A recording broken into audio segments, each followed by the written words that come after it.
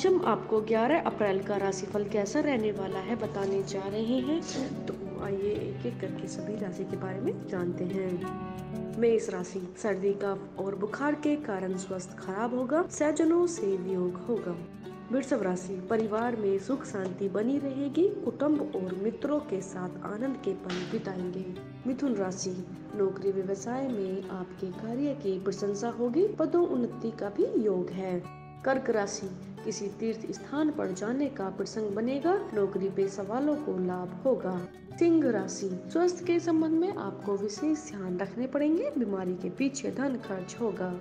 कन्या राशि, दाम्पत्य जीवन में मधुरता रहेगी, भागीदारों के साथ संबंध सहोदार पूर्ण रहेंगे।